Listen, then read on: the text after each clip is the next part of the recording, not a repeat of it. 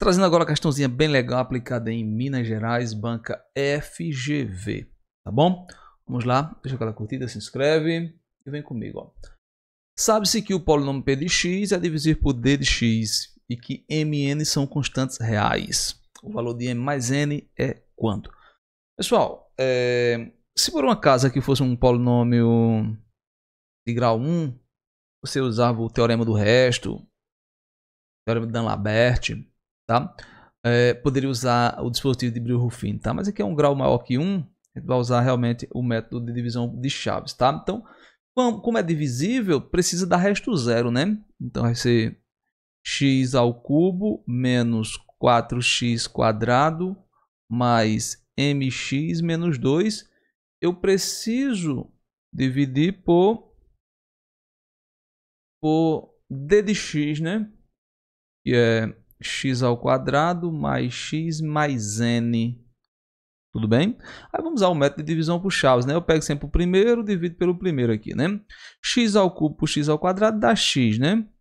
Multiplico voltando, dá menos x, dá x ao cubo, né? Só que vem menos, né?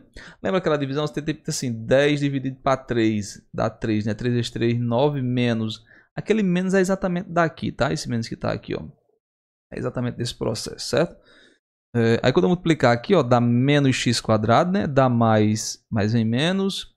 E aqui dá menos xn, ou nx, né? nx.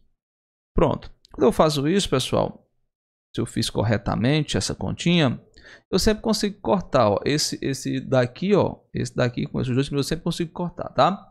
Menos 4 menos 1 dá menos 5, né? Menos 5x quadrado mais m menos nx menos 2. Tudo bem? O, o, o, o, o expoente é igual aqui, ó, então eu já posso fazer uma divisão, né? Menos 5x ao quadrado por, por x ao quadrado dá menos 5, né? Aí multiplico voltando, dá menos, vem para cá mais 5x quadrado.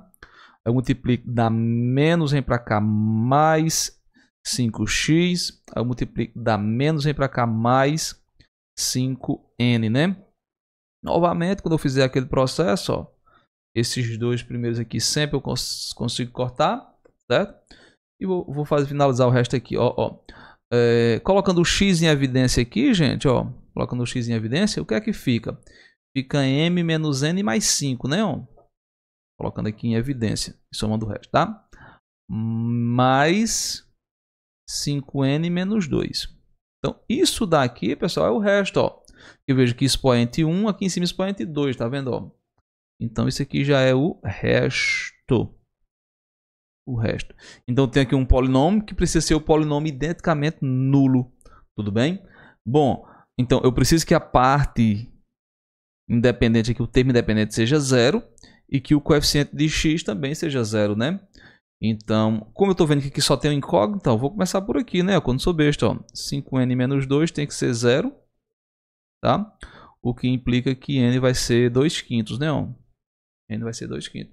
E por outro lado, ó, m menos n mais 5 também precisa ser zero, né? Ó? Então, uh, vai ficar m menos 5 sobre 2 mais 5 igual a zero, né? Eu preciso isolar o m, né? Então, vou passar para o outro lado, ó. m vai dar igual a 2 quintos menos 5, ó. Certo? Uh, isolando aqui o M novamente, ó. Vai dar, embaixo fica 5, né?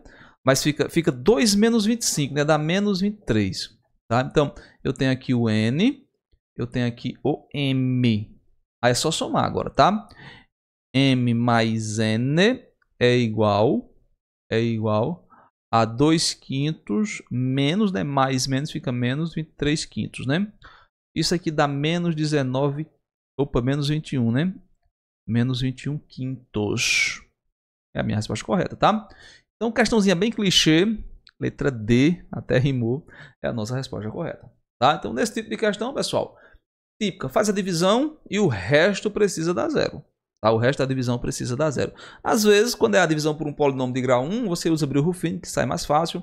Ou você usa o teorema do resto, o teorema de Dan-Labert, que sai também bem mais rápido do que usar o método da chave. Mas aí é o grau maior do que 1, tem que ser método da chave mesmo, não tem pra correr não, tá bom? Beijo no coração, tchau, tchau. E até a próxima. Se inscreve, deixa aquela curtida, tá bom? E até mais.